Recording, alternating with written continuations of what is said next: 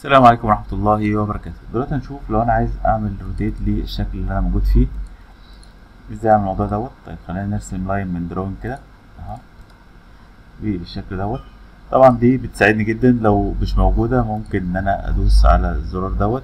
ده ال AccuDraw تبدأ تظهر معايا. فأنا ممكن أحدد ال- ال length مثلا عايزه قد إيه. تمام؟ فهيثبت الخمسة. وممكن تديله برضو ال angle أو دي ممكن ما تديهالوش فهو يبدأ يرسمها بالشكل دوت بالمسافة بال... بالزاوية بكل حاجة.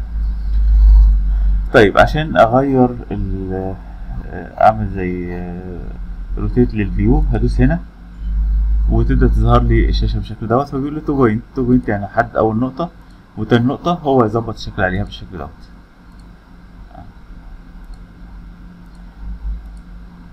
أو ممكن تعملها dynamic بالشكل دوت وتبدأ تلف زي ما انت عايز.